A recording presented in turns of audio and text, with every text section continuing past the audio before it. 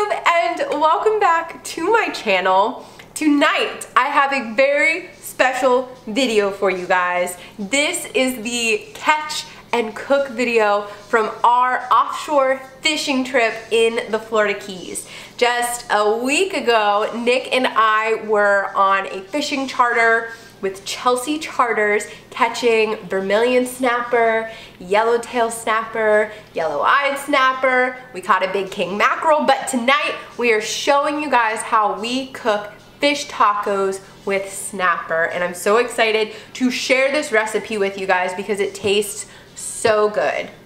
So good. And vermilion snapper are probably one of the best tasting fish ever. And I'm not even really a fish person, so if you're not a fish person, you will like this too. So we are going to walk you through the recipe and hang out together and have some fun.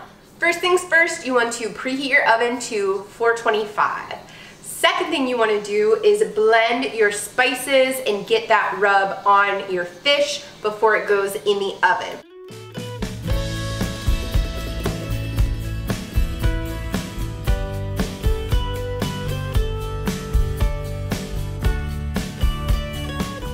Now it is time to break out the verm. Can you see that?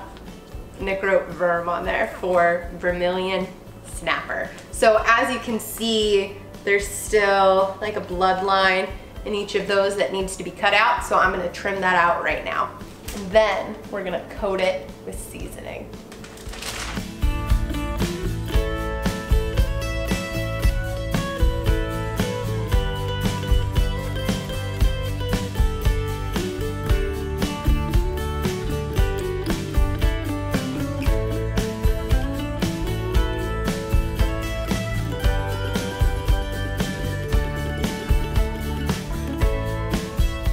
So while that fish is cooking away in the oven, you are going to get started on your sauce.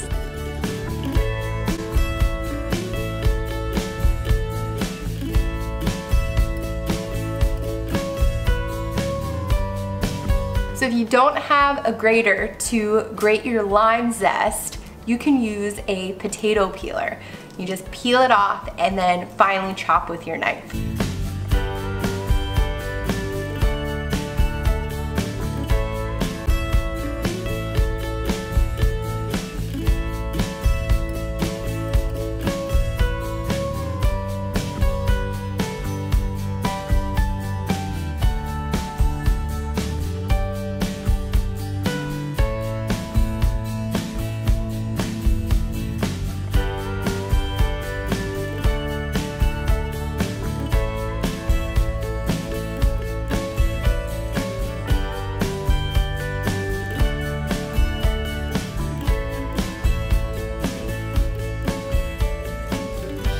Prepared by us, caught by us.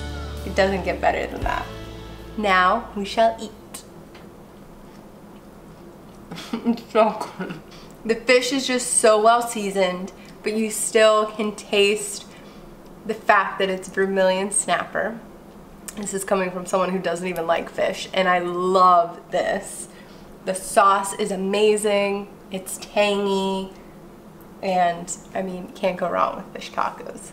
So that is it YouTube. Thank you guys so much for watching. Nick and I are both hangry now, so we need to put the camera away and eat. But I really love this fish taco recipe. Any white flaky fish will work. It, I just think it's so cool that Nick and I caught these fish ourselves and get to prepare it and eat it. It's, you know, it's the whole process, which is really cool. So that is it. Thank you guys for watching and we'll see you in the next one.